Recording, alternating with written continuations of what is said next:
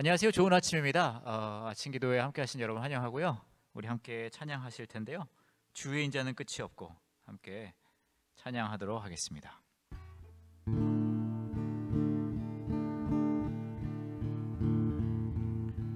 주의 인자는 끝이 없고 그의 자비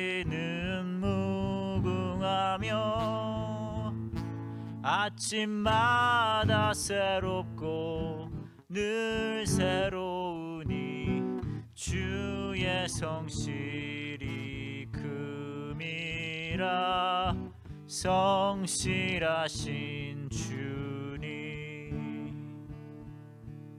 오늘 함께 하실 본문은 시편 56편 1절부터 13절입니다. 다윗이 가드에서 블레셋 사람들에게 잡혔을 때 지은 시 성가대 지휘자를 따라 멀리 상수리 나무에 앉은 비둘기란 곡조에 맞춰 부른 노래. 하나님이시여 나를 불쌍히 여기소서. 사람들이 나를 짓밟고 하루 종일 몰아붙이고 있습니다. 내 원수들이 종일 나를 추격합니다 교만하게 나를 대적하는 자 많습니다. 내가 두려울 때 주를 신뢰하겠습니다. 내가 하나님을 신뢰하고 주의 말씀을 찬양합니다. 내가 하나님을 신뢰함으로 두려워하지 않겠습니다. 사람에 불과한 자가 나를 어떻게 하겠습니까?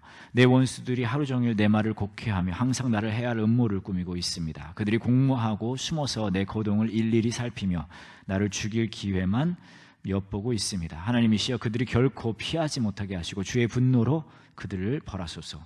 주는 나의 슬픔을 아십니다. 내 눈물을 주의 병에 담으소서. 내 눈물이 주의 책에 기록되지 않았습니까? 내가 소리쳐 주를 부를 때 내 원수들이 물러갈 것이므로 내가 이것으로 하나님이 내 편에 계시는 것을 알 것입니다. 내가 하나님을 신뢰하고 주의 말씀을 찬양합니다. 내가 여호와를 신뢰하고 주의 말씀을 찬양합니다. 내가 하나님을 신뢰하고 두려워하지 않을 것입니다. 사람이 나를 어찌하겠습니까? 하나님이시여 내가 주께 약속한 것이 있으니 감사제를 주께 드리겠습니다. 주께서는 나를 죽음에서 건져 주시고 넘어지지 않게 하셨으며 나를 주 앞에서 생명의 빛 가운데 다니도록 하셨습니다. 오늘의 시는 다윗이 어, 사울에게 쫓겨서 이제 블레셋 쪽으로 도망을 갔어요. 그곳 가드라는 곳에 있었는데 그곳에서 쓴 시입니다. 블레셋은 여러분 잘 아시겠지만 다윗을 철천지 원수처럼 여겼던 사람이 사람들이에요. 왜냐하면 다윗이 골리앗을 이겼잖아요. 블레셋을 그리고 싸워서 이긴 적이 많거든요. 근데 그런 다윗이 블레셋한테 도망가 있는 거예요. 그리고 많은 사람들이 이제 다윗 위험하다고 이제 가드 왕한테 어, 다윗 죽이라고 막 그러는 거예요. 그때의 다윗이 쓴 시입니다. 얼마나 불안하고 두려웠겠습니까? 그러니까 계속 말하는 거예요. 죽을 것 같다고, 너무 무섭다고.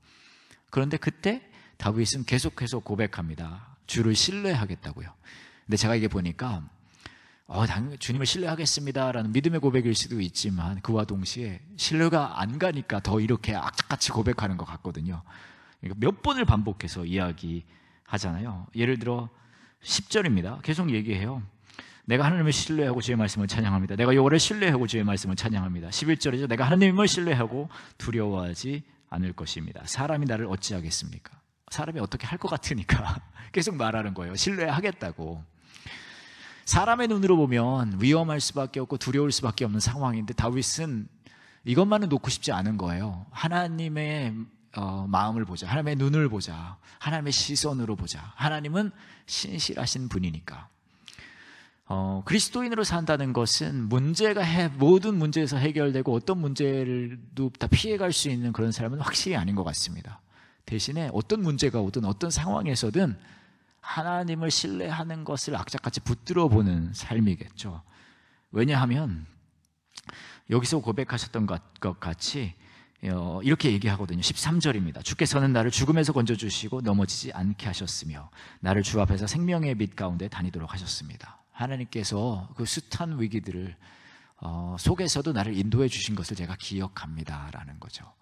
신앙의 삶은 지난 삶을 되돌아보면서 하나님의 선하심을 기억하고 그 신실하심을 다시 확인하면서 오늘 나에게 주어진 상황 속에 하나님의 주인 되심, 주권자 되심을 악착같이 붙드는 삶, 그 삶이거든요. 그리고 그것은 성령님을 통해서만 가능합니다.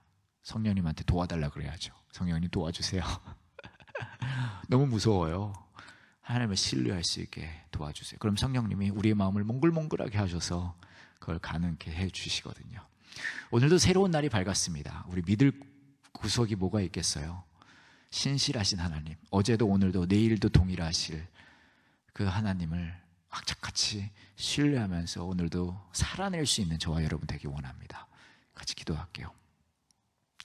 다윗은 가장 위험하고 또 죽음의 그 순간에서 어, 하나님을 악착같이 붙듭니다. 생각해 보면 다윗도 할 수 있는 게 별로 없었거든요. 하나님 신뢰하는 것밖에. 근데 우리도 마찬가지인 것 같습니다. 너무나 무력하게 내 자신이 무력해 보이는 그 상황에서 하나님을 신뢰하는 것만큼은 저희 놓치지 않게 도와주세요. 신실하신 하나님을 저희 기억할 수 있게 도와주세요. 지난 삶을 되돌아보며 어떻게 해서든 우리를 인도하여 주셨던 그 하나님의 신실하심을 어, 다시 기억할 수 있게 하나님 함께 해주세요. 오늘도 그렇게 이 하루를 살아내길 원합니다. 감사합니다. 예수님의 이름으로 기도합니다. 아멘.